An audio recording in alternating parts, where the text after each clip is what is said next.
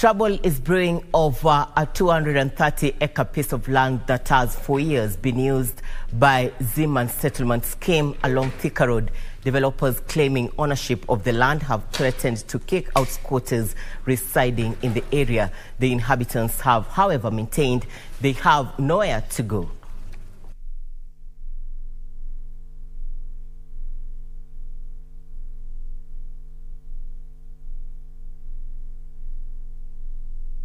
Wamekuwa wakisumbuliwa huko, wamekuwa wakipigwa huko na majambazi ambayo wanaorganiziwa na grupu ambayo ilijitenga na, na sisi kama na ofisi yetu.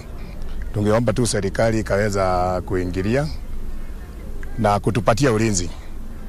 Ombi langu kwa serikali, ningeomba venye tu rais anasema hataki ufisadi, anataka kuanza serikali mpya na mambo mpya tafadhali tungekuomba rais wetu uweze kuingilia kati ya hii shamba juu imekuwa ni shida, ni miaka na miaka tumekuwa tukisumbuliwa. Kwa hivyo tungeomba tu serikali kupitia kwa new IG wa polisi aweze kushughulikia hii mambo yetu.